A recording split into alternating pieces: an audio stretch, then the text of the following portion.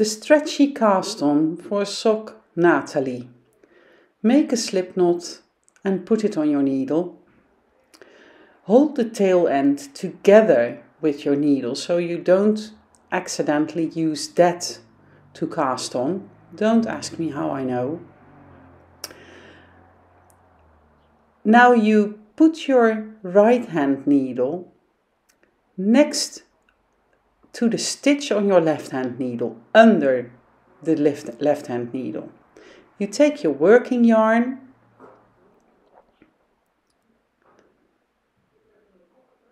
and you loop it around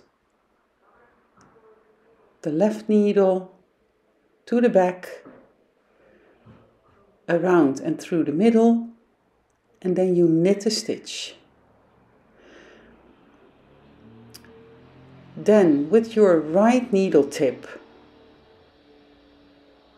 you go under the left needle, swivel it around and put the stitch from back to front on the left hand needle.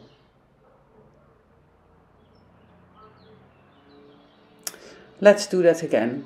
You see we have cast on two stitches. This cast on makes really nice pairs of stitches, so it's excellent for 2 by 2 ribbing, for example. Put your needle under the left needle. Loop the working yarn around the left needle and around the right needle. Knit a stitch, swivel it under the needle and put it on the needle from back to front. Again, put your right needle tip against the stitches on your left needle. Put it under the left needle.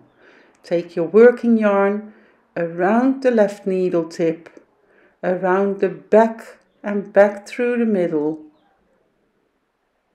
Oops. Knit a stitch. Twirl your right hand needle under the left needle and put the stitch on the needle from back to front.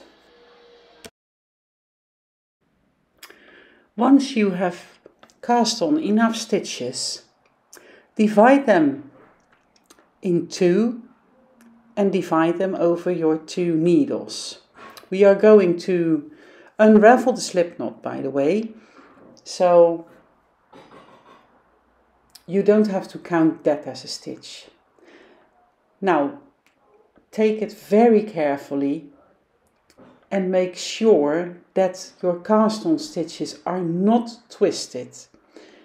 It's a bit of a hustle with this cast on, but the um, result is worth it, I promise. So take care not to twist.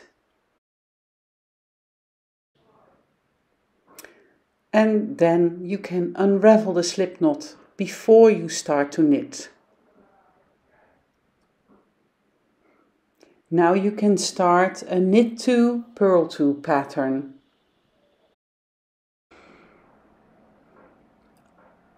When you have knitted all the stitches on the first needle, it is time to turn your work around, but then again you will need to check really careful that you have not twisted your cast on anywhere. After this it will get easier, but take really good care of it at this moment.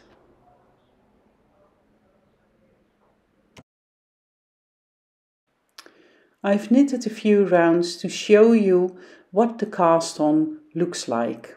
It's just a simple knit two purl two cast on, but if you look at the top of your sock it's really nice and it's also really stretchy. So I hope you like this cast on and happy knitting!